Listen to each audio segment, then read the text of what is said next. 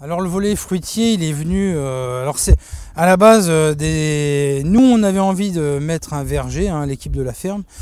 Et il se trouve que là, pour le coup, c'est les élèves qui nous ont un petit peu devancés. On a, six élèves de, BTS Gestion et Protection de la Nature qui, avaient un projet tutoré à mettre en œuvre et euh, ils sont venus nous voir. Ils nous ont dit, ben, on aimerait bien travailler sur la place de l'arbre dans le système agricole. Et puis j'ai dit, bah, Banco, euh, ok, on va, on va faire ça, mais sur une parcelle de, fruitiers en agroforesterie. Donc dans une prairie permanente pâturée par des moutons essentiellement, hein, pâturée fauchée. Et euh, donc ce sont les élèves qui ont choisi les essences. Euh, nous, on leur a juste imposé un écartement de 26 mètres interligne. Et après intraligne, on les a laissés décider en fonction des types de fruitiers, de l'espace intraligne qu'ils allaient mettre parce qu'on a souhaité ne pas faire une ligne par exemple de cerisier, une ligne de mirabellier, une ligne. Donc là, toutes les essences sont mélangées intra-lignes.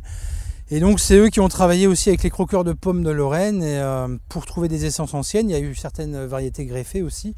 Et euh, donc c'est plutôt un beau projet parce que c'est un projet qui s'est réalisé de A à Z avec les étudiants, c'est-à-dire de la conception, l'étude de projet, jusqu'à la réalisation concrète. Et ça, c'est les plus beaux projets pédagogiques qu'on peut, réaliser sur une structure comme la nôtre.